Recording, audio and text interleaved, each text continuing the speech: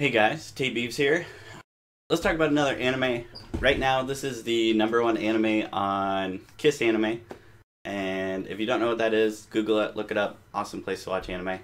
Um, but this is One Punch Man. So it's a story about a man who is so strong, he defeats all of his opponents with one punch. As ridiculous as it sounds, you'd think every fight would just end instantaneously. He'd just punch them and then it'd be done. Um, that kind of is how the fights go in a sense, but there are other characters that you get to watch fight. Um, it's very well animated. Um, the fights are really cool and fun to watch, and just the hilarity that ensues from how insanely strong One Punch One Punch Man is is awesome. Um, there are some classic anime themes or tropes that happen in this show, um, and as they unfold, it's pretty hilarious. In most animes, there's a fight. The character has to get stronger. There's another fight.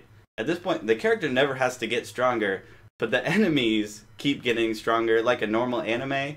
Um, I don't know. It's it's hilarious. Um, it's something to take lightly. Uh, the characters, like the side characters, are really cool and interesting. Um, it is only one season. Um, whether or not it's going to get a second season, they don't know. Um, it's currently caught up to the source material, and they're either they're going to wait for more source material to come out, or it might just end at this. If it ends at this, it's kind of fine in my opinion. It is what it is. It's hilarious. It does it very well. Um, and I highly recommend that you guys watch it if you have not checked out One Punch Man.